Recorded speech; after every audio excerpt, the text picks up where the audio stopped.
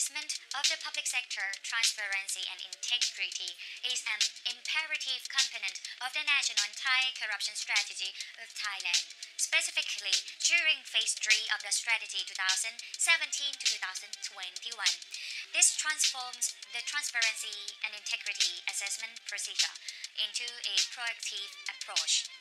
The objective is to assess public sector organizations and provide them with a constructive feedback to support their development in the area of integrity and transparency.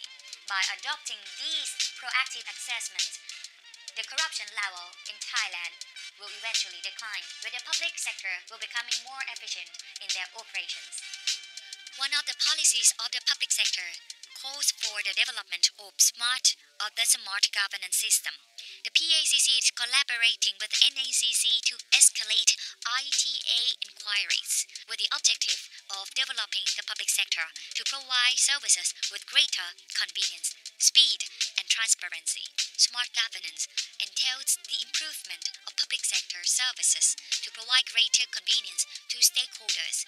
It allows the people to swiftly access news and information pertaining to the public sector with a focus on transparency and public participation.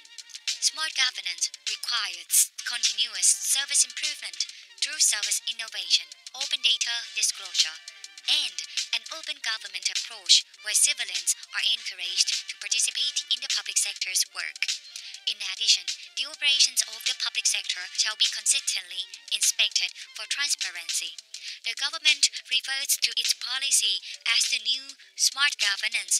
The letters N, E, and W refer to the networking, enforcement, and warning, respectively. The letter E for enforcement underscores the efficient implementation of law enforcement on the foundation of disciplinary, governance, and legal measures. Efficient law enforcement brings swift justice while suppressing potential criminals. On the 27th of March 2018, the Cabinet approved the following measures for public sector corruption prevention and suppression. Measure 1, Topic 1.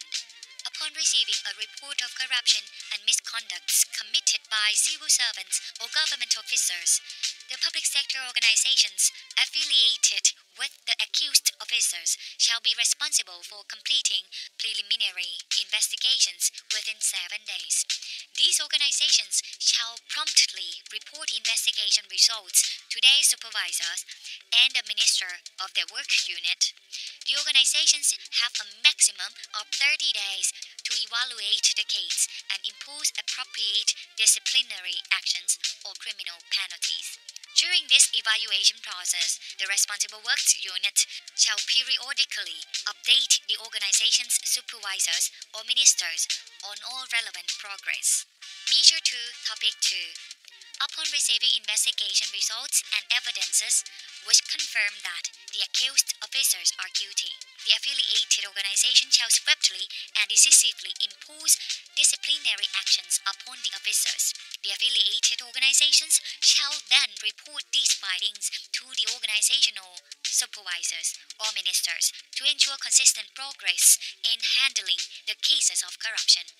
At this stage, the affiliated organization may suspend or remove the officers from their positions and deem appropriate.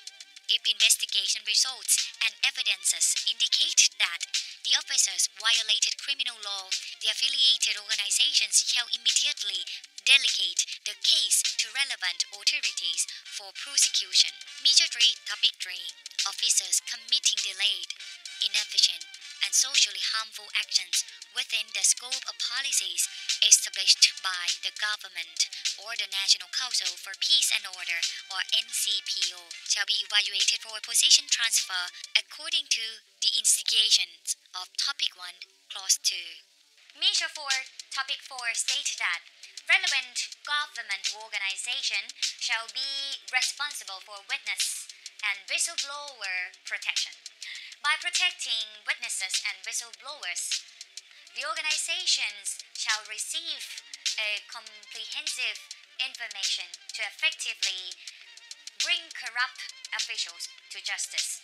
At the same time, decisive penalties will be enforced upon witnesses and whistleblowers who deliberately provide false information to wrongly accuse others.